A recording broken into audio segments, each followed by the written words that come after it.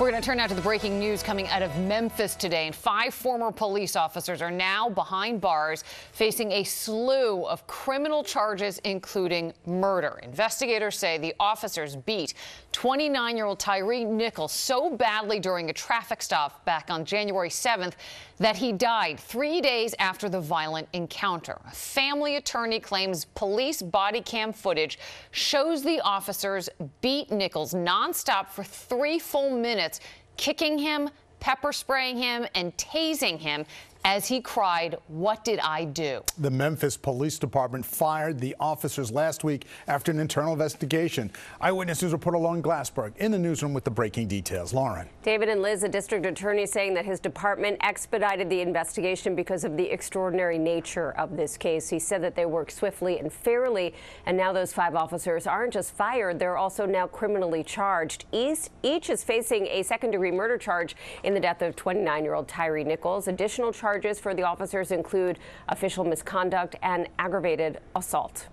While each of the five individuals played a different role in the incident in question, the actions of all of them resulted in the death of Tyre Nichols, and they are all responsible. Five police officers now behind bars. They're charged in the death of Tyre Nichols, who they pulled over in Memphis for reckless driving. They're accused of beating him so badly he suffered extensive bleeding and was hospitalized. He died three days later. And there is body camera video of the traffic stop and the minutes that followed. That video expected to be released tomorrow. And last night, the Memphis police chief urged the public to refrain from violence after they watch it. I expect you to feel what the Nichols family feels. I expect you to feel outrage in the disregard of basic human rights, as our police officers have taken an oath to do the opposite of what transpired on the video. I expect our citizens to exercise their First Amendment right to protest.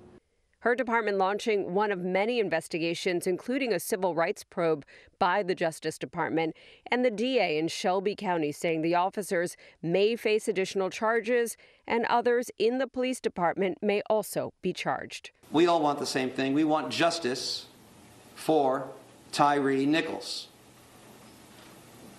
It's my hope that if there is any silver lining to be drawn from this very dark cloud, it's that perhaps this incident can open a broader conversation about the need for police reform. And Tyre's family issuing a statement this afternoon saying that the officers being held criminally accountable gives them hope as they push for justice.